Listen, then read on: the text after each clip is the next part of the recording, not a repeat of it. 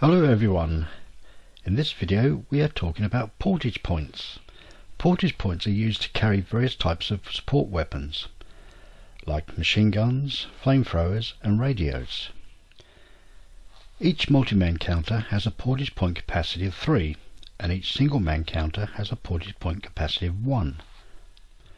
Multi-man counters may not add their portage point capacity to other multi-man counters to increase their portage point capacity. One single man counter may add their portage point capacity to a good order infantry unit as long as they start the movement phase in the same location and move together as a stack. The Russian squad in Hex V5 starts its movement phase stacked in the same location as the Russian leader. If they move together as a stack, the Russian squad will have a portage point capacity of 4, 3 portage points of its own, plus the inherent one portage point from the leader. In hex S6 there are two Russian squads and a leader, and they decide to move as a stack. The Russian leader may only increase the portage point capacity of one of the squads, not both, so one squad can have a portage point capacity of 4, the other 3. The portage point cost of a support weapon is printed on the counter number followed by the letter PP. This light machine gun has 1 PP, meaning it costs 1 portage point.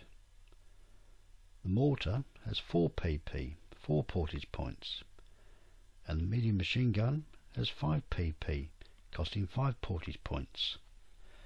For every portage point carried above a unit's portage point capacity, the unit loses one movement factor, Single man counters may not carry more than two portage points. The Russian squad in hex W7 is carrying a 50mm mortar, which costs 4 portage points, one more than its portage point capacity, so instead of 4 movement factors, it has only 3. If it had been stacked with a leader and they moved together, it would have a movement factor of 6, 4 movement factors as it now has 4 portage point capacity, plus the 2 movement factor leader movement bonus.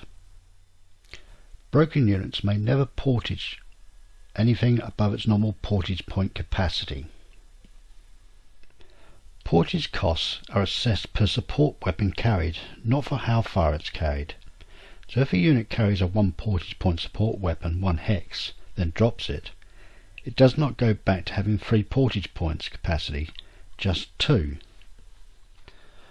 The Russian squad in W7 starts carrying a light machine gun with one portage point. It moves one hex into V6 where there's a mortar. It now drops the light machine gun and tries to pick up the mortar. Passes its recovery die off the mortar. The mortar is worth 4 portage points it's already spent one on the light machine gun, which means it has two left. This is two portage points above its movement normal portage point costs, which means it loses two movement factors, dropping it down to two. As it's already moved one hex and spent one movement factor recovering the mortar, it now can't move any further.